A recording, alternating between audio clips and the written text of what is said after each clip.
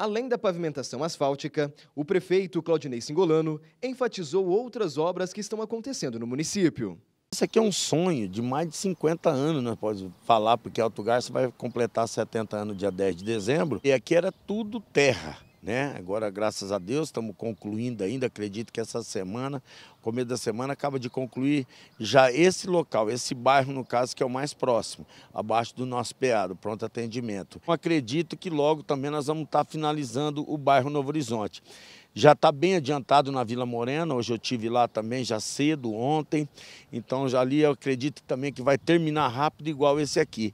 E vamos partindo depois para os outros, da Algodoeira, lá perto da Algodoeira. É um canteiro de obra, graças a Deus. Estamos correndo já atrás das, eh, das reformas, né, do, dos PSF, né, para ver se já libera para fazer também com recurso, dinheiro nosso que está nas contas para reformar tudo. E lá no, onde, onde que eu já dei a ordem de serviço, né, do centro de reabilitação, em frente ao antigo Ito Correia, né? Da água também, que hoje é um dos maiores problemas que nós vem enfrentando, eu não fujo disso, né, de muitos anos, mas a gente já está também providenciando, acredito que até é, no começo do mês ali, dentro do dia 10, nós estamos pedindo um reservatório para o bairro ali, né, Boa Esperança, né, e o Padre Cícero, que liga os dois. E a gente pede para a população, às vezes dá uns transtornos, quebra cano, por quê? Porque todo o lugar que está arrumando tem os problemas, quebra, é poeira. Então a gente pede que procure entender porque o benefício vai chegar.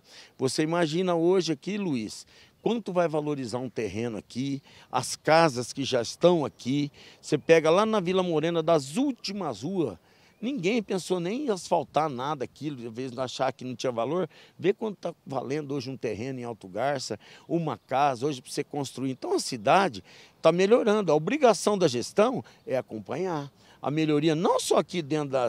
Tem que ser na zona rural também. As estradas, ganhamos mais duas patrolas, estamos indo atrás de mais maquinário para ainda melhorar mais, porque o povo está investindo.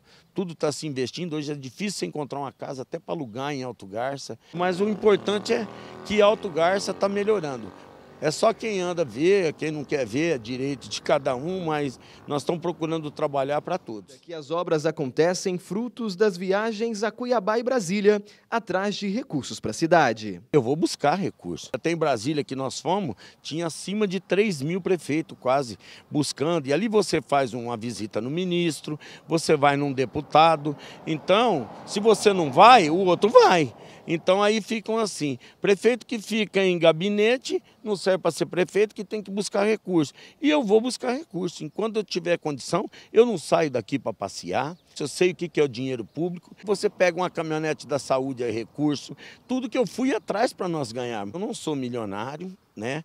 Então eu tenho que buscar recursos. Eu não tenho apartamento em Cuiabá, eu não tenho nada. Então o que eu faço é buscar. É buscar porque aonde eu tiro isso? Eu vou na diária, tira a diária, mas eu vou lá para trabalhar. Hoje acabou blá, blá blá ninguém quer saber, o povo quer saber se tem saúde boa, é, estrada boa, se é, tem água na cidade, se é isso. Então, a, minha obrigação, que entrei, estou no segundo mandato, juntamente agora com a, com a, com a Angelita, é isso, é trabalhar. Agora, para frente, né, é Deus e quem vai votar e vai analisar o trabalho, se foi bom, se não foi. Então, o que eu penso é isso.